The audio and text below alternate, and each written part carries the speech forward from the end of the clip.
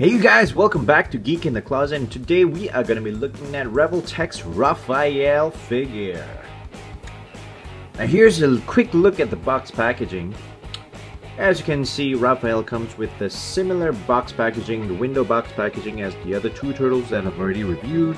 It says Raphael right there, of course the box is in red and on this side you can see a gorgeous art of Raphael himself. And on the back are actually some suggestions of how you can pose them and uh, the accessories that he comes with and together with the four turtles that are already available.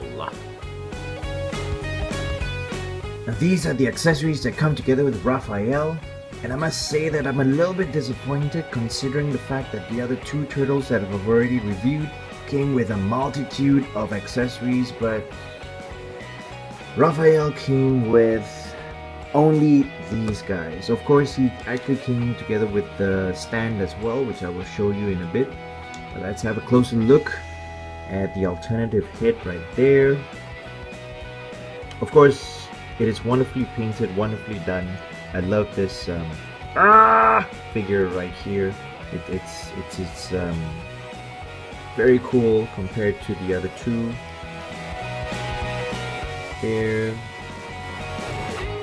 peggle for the uh, extra cloth to hang down from the back of his head of course. Okay and these are the two salad tongs that came together with it or, or you can call it sais. There's a peg right there which is great. Wonderfully painted. Alright both of these are exact same thing go. Silver metallic color right there, and brown right here, and a slightly golden color on the edge right there. This is not very sharp, so you don't have to worry or anything, but of course I wouldn't uh, put this near any kid, any, any, any, child of yours or whatsoever. Um, it is actually made from a soft kind of hard plastic but I would consider it soft as well so you have to be very careful when uh, storing this or putting this somewhere because it will definitely break. Now here's a look at the stand that came together with Raphael figure. It looks like a post box but I'm not too sure what this is. So um, similar to the rest of them it pegs right here so minimal assembly is required like so and uh, it slants like that as well. Yeah, so compared to Michelangelo's base stand right here, it's relatively shorter, way shorter compared to it. And here's a look at Leonardo's stand, which is the um, pipe which connects to the broken wall right there. And it is approximately the same height as Raphael's. So let's have a look at Raphael being on top of this base stand right here. As always, the peg is right at the bottom of his shell. So, okay, just, just nicely, very easily, and there you go. Here's Raphael on top of his display stand right there. I would have preferred it to, I don't know, I still prefer Michelangelo's display stand just because it's slightly taller compared to the rest of them. Now here's a look at Raphael himself. And I must say he is a bulkier figure compared to the other two turtles. He he also weighs a little bit more as well. So here's a look at Raphael. There's uh, the, the, the crack that distinguishes Raphael right there. It is very, very unfortunate for this figure for me though because of this um, this uh, partition over here. This opening over here is is very, very obvious as in like something on the inside is actually pushing it apart so you can actually tell that is that this hole right there is very very obvious. I, I tried to push it in, I tried to dismantle it and whatsoever, but it didn't work. That is very unfortunate for me, but and uh, aside from that, there's a little bit of paint problems on this head. I can see clearly on his lower lip right there. I think there is a, yep, there's definitely a miss paint on his lower lip a little bit. There's still a little bit of white. It's supposed to be green though. So it gives it like a kind of kind of kind of kind of facial expression right there. So that is unfortunate. And it's a little bit annoying for me too because I'm a little bit OCD, so that bothers me. Okay, so um, definitely his legs are much more bigger, much more bulkier compared to the other two turtles. That is a definite. His uh, side holsters are on the back right here. And let's see whether it fits properly. It is also um, yeah, it, it fits in like so. Oh, it is, but it does not hold them very well.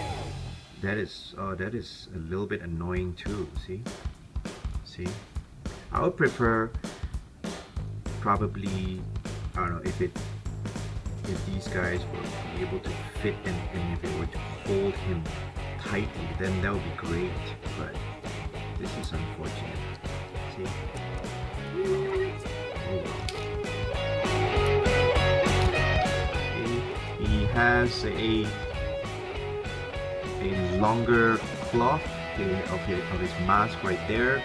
And uh, you can actually see the tattered look on the cloth right there compared to the other two turtles and uh, the same elbow pads the same um, what is that? Bandages around his wrist as well as his fingers.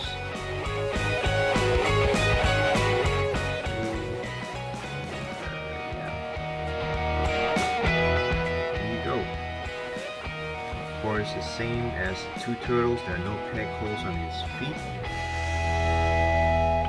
Peg holes right here, of course.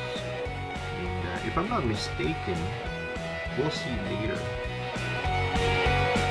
that the bandages on this on his wrist is darker compared to the other two turtles maybe? We'll see later. Now here's a look at Ralphie together with his alternative head. And I must say that his head is like so far the most entertaining compared to Jack, the other alternative hits from Michelangelo and Leonardo. so I want to show you how well, oh no, oh, his hands are popping off. So how well his sais go in his palm right there. So this fits perfectly well on both hands. Okay. Now what I want to test out if he can actually hold the sais in between his fingers like he, like he normally does, and he can he can actually do it. However, he does not peg onto his uh, fingers, of course. What you can do is this, which is which looks really, really good. Go. Ah! here's a look at Raphael compared to his other two brothers that I've already reviewed. Here's Michelangelo. And I must say, they're actually distinguish, uh, distinguishable differences compared to, to, to Michelangelo right here in terms of the body right there. Raphael is slightly, it's actually a lot more buffer, a lot more built compared to Michelangelo. The color of the bandages on his wrist, his uh, feet, and his knee pads together with his elbow pads are of a different color. That's great. That's fantastic, actually. Um, his skin tone is slightly of a darker green compared to Michelangelo too. That is accurate. Unfortunately, for the height, they're almost of the same height.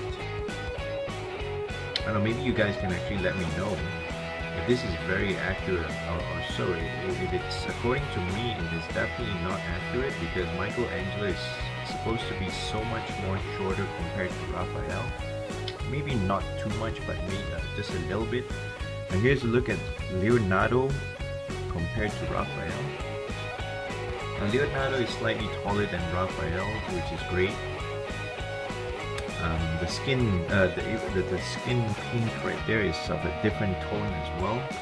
Almost similar to Leonardo's, but uh, it's definitely different, which is great. Now here's the difference. The bandages on his feet together with Leonardo's wrist right there is of a different color compared to the rest as well.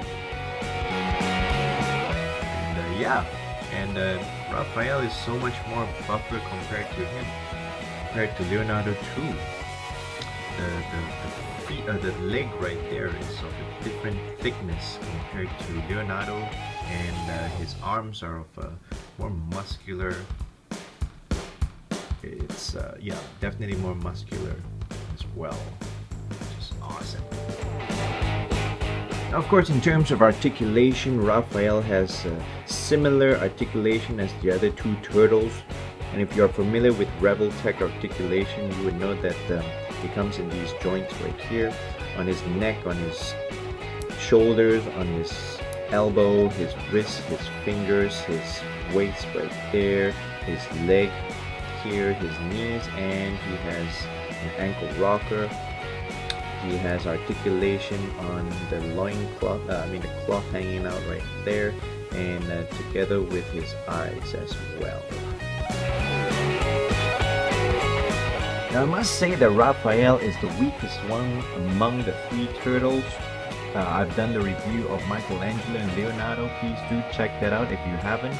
Weakest, I mean in terms of of course the problems that came with specifically my figure. I'm pretty sure that uh, it only applies to my figure and most of your figures will be fine. It's just unfortunate, you know, for me to, to be able to get this figure. And um, weakest also in terms of value because Leonardo actually came with that extra pizza accessory together with Michelangelo. They came with that spinning nunchucks accessory which I think is fantastic. Now, I'm not saying that Raphael is a bad figure whatsoever. He is a fantastic turtle. He is a an, an awesome figure by itself with clean paint and articulation itself. Details right to his eyes right there is fantastic. You know, so uh, I do highly recommend him. And um, yeah, and that's it for my review, guys. Thank you guys so much for watching once again. Please do not forget to like and subscribe, and I will see you next time. Peace!